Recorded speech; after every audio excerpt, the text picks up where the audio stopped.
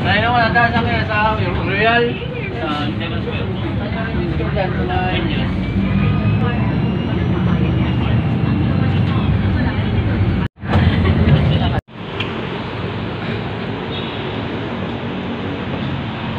Ito ang daan papuntang SM.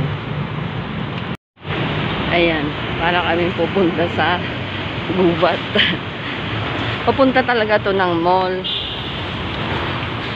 Ayan ang mga construction na MRT. Mall talaga po ang pupuntahan namin. Hindi bukid. Ayun na yung SM natatanaw ko na. Ito yung Rhinom. Diba? Pag ako natisod dito, sub-sub ang nguso ko.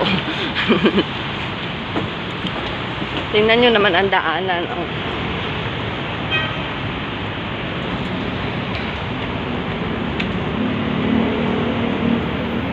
Ayan, nakapasok din. Nakarating din sa mall. Kaso, nasa pila kami. Sobrang init, basang-basa na ako ng pawis.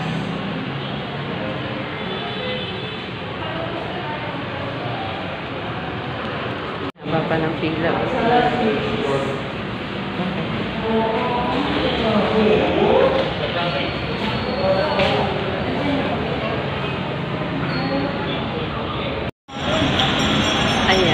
epic fail po.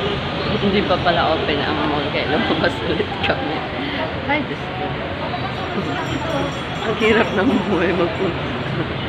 Ah, layo na nilakad namin. Tapos, ngayon, dito kami sa labas ng mall.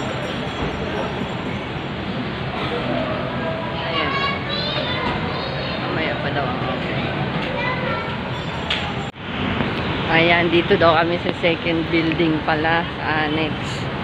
Diyos ko, talaga naman napakasablay. Tapos yung live ko, nasita panungan, bawal daw. O, ba? Talaga naman, sablay na sablay. Ayan, dito na kami. Mamimili kami na. Actually, hindi naman talaga ako mamimili. Yung ano, ayan yung kasama ko. Bibili. Ayan, nakaupo din. Pero sablay pa rin namili kami. Kasi,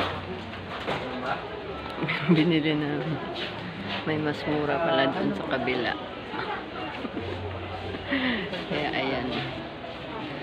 Opo. Nandito ako sa Ace Hardware.